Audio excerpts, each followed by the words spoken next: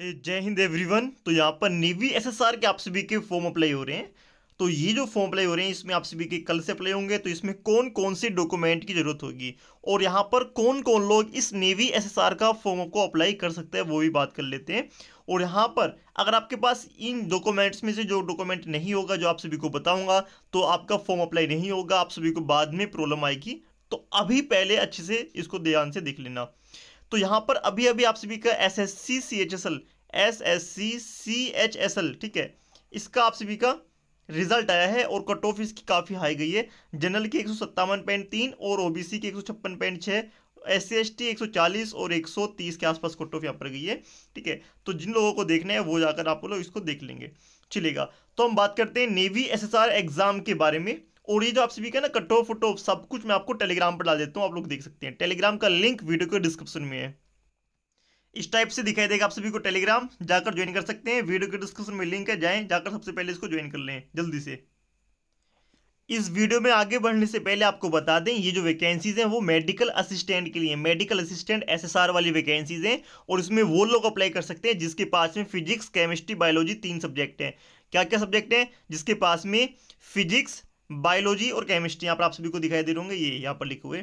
तो यहाँ पर लिखा हुआ आप सभी का फिजिक्स, केमिस्ट्री एंड आप सभी का सबसे पहले आता है बायोलॉजी, ठीक है? जिसके पास ये सब्जेक्ट ना तो वो इसका फॉर्म अप्लाई कर सकता है। कौन सी क्लास में? ट्वेल्थ क्लास में। कौन सी क्लास में? ट्वेल्थ क्लास में। और डेट ऑफ़ बर्थ बता दूँ, एक नवंबर 2003 से लेकर, एक नवंबर 2003 से लेकर डेट ऑफ़ बर्थ यहाँ पर गई गई है।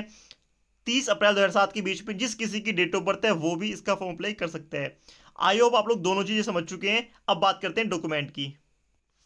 इसके जो फॉर्म अप्लाई है, आप लोग सात सितंबर से लेकर सत्रह सितंबर तक कर सकते हैं। लगभग आप सभी को ग्यारह दिन का टाइम है। सात से लेकर सत्रह सितंबर लास्ट डेट आप सभी की होगी। इसमें आप सभी के लिए क्या क्या लगेगा देख लेते हैं। सबसे पहले आप सभी का यहाँ पर आता है। आप सभी का यहाँ पर एक फ़ोटो लगेगा। क्या लगेगा? आप सभी का एक फ़ोटो लगेगा। तो फ़ोटो में आप सभी का फ़ोटो कैसा लगता है आप सभी को बता दें। फ़ोटो आप सभी का आपका यहाँ पर फ़ोटो है। ठीक है, आपके हाथ में एक तख्ती होनी चाहिए फ़ोटो पे। उस पर नाम और डेट ऑफ़ बर्थ लिखी हो, मैं आप सभी को दिखाता हूँ। इस टाइप से फ़ोटो होगा आप सभी का। ठीक है, फ़ोटो आपको यहाँ पर कोई तख्ती होगी, तख्ती में आप सभी को यहाँ पर लिखवाना है। ब्लैक कलर की आप सभी का सेलेक्ट होती है। उसमें आपको लेफ़्ट कैपिटल लेटर में नेम लिखना है। ठीक है, ऊपर अपना नेम लिखेंगे, जैसे कि मेरा नाम जावेद है तो मैं अपना नाम जावेद लिखूँगा। आप लोग अपना पूरा नाम लिखेंगे, ठीक है? तख्ती को आप सभी लोग अपने जो सेलेक्ट है, उसको तिरछी करके पकड़ेंगे, ठीक है?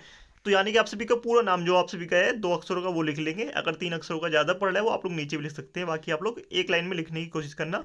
नीचे लिखनी है date of photograph D O P date of P D O P आप सभी लोग अपने आप लिख देंगे या फिर डायरेक्ट लिख देंगे, जो भी आप सभी की आज की डेट है। जब भी आप लोग फ़ोटो क्लिक करेंगे, आप लोग अपने अपने यहाँ पर डेट लिख देंगे। सिंपल नाम और डेट नेम और डेट यहाँ पर लिखनी है सिंपल ये आपका फ़ोटो हो जाएगा। फिर आपके यहाँ पर साइन की ज़रूरत पड़ेगी, ठीक है सिग्नेचर साइन की ज़रूरत पड़ेगी, जैसे कि मैं यहाँ पर लिखता हूँ, ठीक, राहुल की सिग्नेचर है तो आप लोग यहाँ पर सिंपल ऐसे लिख सकते हैं, राहुल। तो अपने जो सिग्नेचर है सिग्नेचर की जो आप सभी को ज़रूरत पड़ेगी, उसका फ़ोटो क्लिक होगा। आप सभी का लेफ़्ट हैंड थम ठीक है लेफ़्ट हैंड थम आप सभी का, यानी कि सिंपल कह सकते हैं आप सभी का जो थम है, उसकी ज़रूरत पड़ेगी।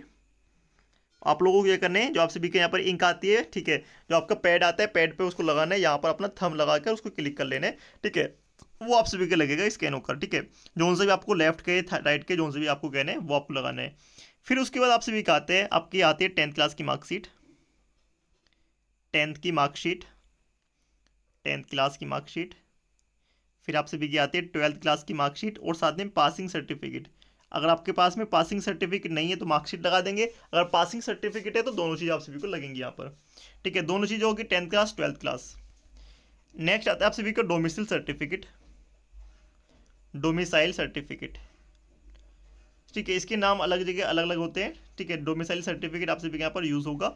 डोमिसाइल सर्टिफिकेट से आप सभी का क्या होगा, क्योंकि इसमें स्टेट वाइज कट ऑफ़ लगेगी।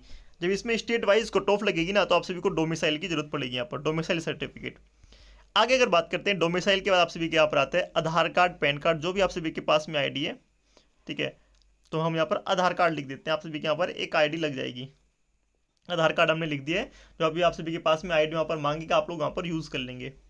आधार कार्ड के बाद आप सभी के यहाँ पर आप सभी का आएगा कि जिसके पास एन है, वो अपना एन यूज़ करेंगे। एनसीसी का सर्टिफिकेट जिसके पास है, वो अपना एनसीसी का सर्टिफिकेट यहाँ पर यूज़ करेगा। जिसके पास में एक्स्ट्रा मार्कशीट है, वो अपने यहाँ पर एक्स्ट्रा मार्कशीट भी यहाँ पर यूज़ हो जाएँगी।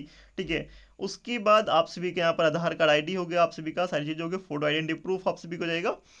फिर आप सभी के यहाँ पर जिसके पास एनओसी टाइप जो भी कुछ आप सभी के एक्स्ट्रा चीज़ें हैं, वो आप लोग यहाँ पर यूज़ कर सकते हैं, जो एक्स्ट्रा वाले हैं।